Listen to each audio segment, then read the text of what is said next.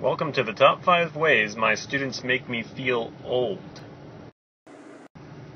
So I reference floppy disks in class the other day, and the first thing I hear is, a floppy what? I have a crossword puzzle that says Ferris Bueller S blank, and one of the vocab words that my students is learning is estudiante for student. Most of them don't know who Ferris Bueller is. I like to make Seinfeld references in class often, and I've come to the point where almost nobody understands any of them, which makes me feel really old sometimes. Just a few days ago, I had a student drawing a picture of a doctor, and she wasn't sure how to do it, so I said to make sure to put a put a mask on his face and uh, maybe put a beeper on his hip. What's a beeper? She says.